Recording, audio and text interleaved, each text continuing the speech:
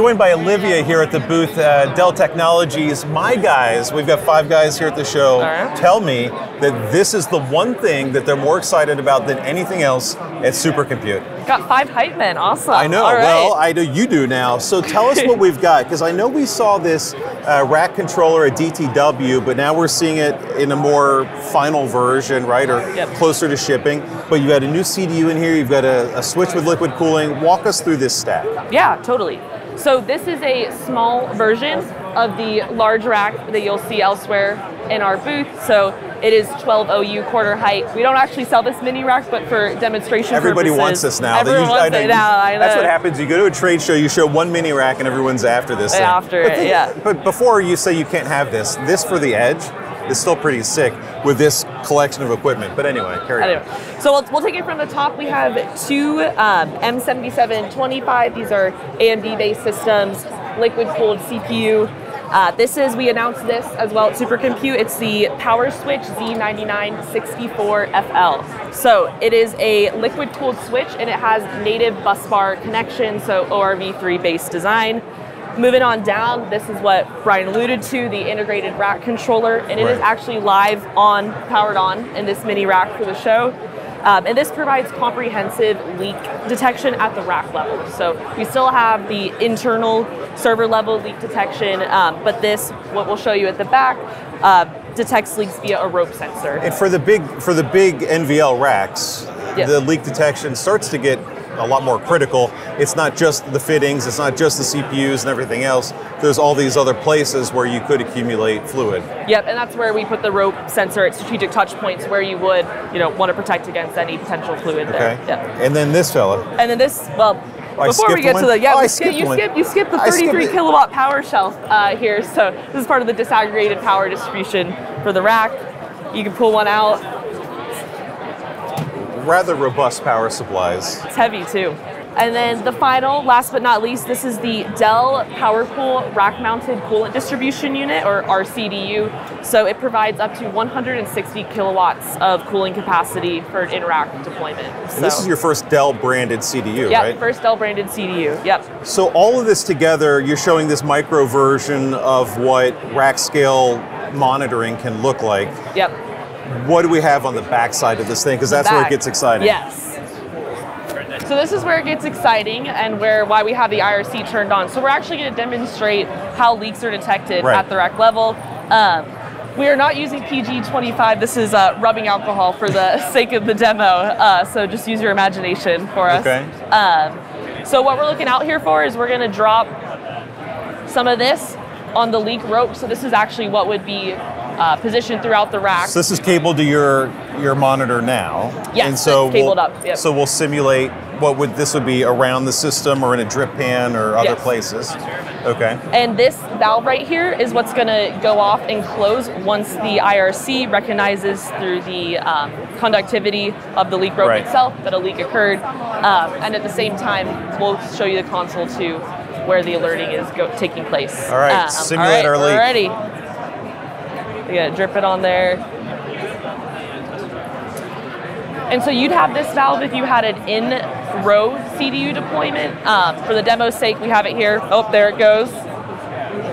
Oh, Vince, that's what we've been waiting for. Don't miss that shot.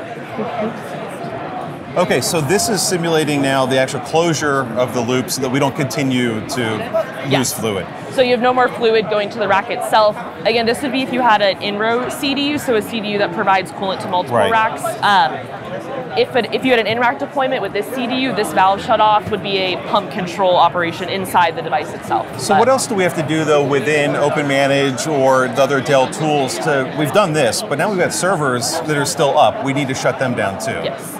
So OME, so while the valve shut off is controlled by the integrated rack controller, at the same time, an event has been triggered with OME, Right. and the default action would be a graceful shutdown of the compute in the rack, but that's a configurable policy.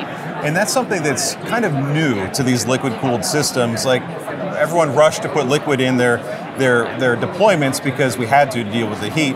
But the operational side's been lagging. So this really addresses a lot of those operational concerns of what happens when a, a pressurized system will eventually have a problem at scale. rare, so, but so- yeah. Right. But this mitigates a lot of those concerns and the fear that some have over liquid loops in their in their data center. And we kept it in the same console that our customers are familiar so let's with. take a too. look so at let's that. take a look. Yeah. So as you can see here, in response to the leak that I triggered, we have the status, leaks alerted. Um, so this is the IRC's GUI itself, and then we also have OpenManage Enterprise, so you can see the device state turned to critical. And this is where you can configure alerts as well. So SNMP trap forwarding, you can get an SMS message as well. Um, and this is where you can see our event, IRC detected a leak. Can see the service tag, the valve policy, and the IRC's closed the valve. Um, Okay. And then we're waiting for the sensor to dry off. So, and this is where you would also be able to uh, physically reopen the valve too. So we can do that once we've cleared the leak. Within the software, you can do that. yes, we'll, we can do it. You can do it. Oh, fantastic. right. So now we just need to wait a second Yeah, so we can press the button. All right, so this is an important step. So we've seen, we've cleared the leak, we've addressed it, it's dried out, but now we actually want the data set administrator to actually physically go to the rack and acknowledge we've addressed the leak so we Okay. can put the device back up. So we go here, and on the front, we've got two amber lights. What do we do here? All right, so this is where when people say don't press the button, now I'm letting you press the button. So Well, you, wait. can, you press the the There's center. two buttons. Wait, wait, you're So going to go all that the- way and not push it? You got it. You did the honors. What, this one? So that's the device information. So that's telling us our device status is critical. Right. This is the leak alarm. So you acknowledging. All right, our leak is clear. Our rope is dry. We're good to go. and then we've got to reopen the valve. So how do we do that? We do that through the uh, IRC? Device configuration. All right. So if you hit here, we see valve one. It's Right. okay. If you hit action, All right. You, you Excuse can do the honors. me, I was scrolling I'm just to so see if there was more information. You ready to open Vince, it? be ready. Wait, you got to get my finger pushing the button, and then you got to quickly There's one go more. to. It's going to be an apply button. Oh, okay. Yeah. Sorry. All right. Turn it on. I like how you have to tell me to hit that because you don't think I'm going to notice. Making sure you can read. Okay, so we hit open, hit apply, and then oh look at that, back in business. You just saved our mini data center. All right, so I can see I can see why the guys were so excited about this because you're showing a practical deployment Yep. of one of the biggest concerns data center administrators have when bringing liquid into their their labs or their their data centers. And this whole building of I don't know how many exhibitors there are, but almost half seem to be something relating to liquid cooling. cooling technology. It's the only way we're going to really be able to do the these things at densities, at high density scales. You've got the uh, NVL rack over there with the rear door heat exchanger and all the other things that, that this is part of, and the advancements that the Dell's making in liquid cooling are amazing. I know you, you brought up the uh, enclosed rear door heat exchanger. I, I didn't mention it's not part of the demo, but this device is actually what helps you view telemetry for the enclosed rear door heat exchanger as well, so you can kind of optimize the function get that, whether it's temperature, humidity, pressure, things like that. So yeah. So this is just a little mini, version, little mini version. of what Dell's doing at scale. We'll go take a look at that too, so you can see what that looks like. Is the it's uh, got much more gravitas. Yes. I mean, it is bigger than, than this little thing. But fundamentally, Dell is solving a, a lot of problems in the data center, liquid cooling. They've got a, a great leadership position there. Definitely worth checking out for any scale, rack scale, or even something smaller, to get up to speed on what Dell's doing with liquid cooling.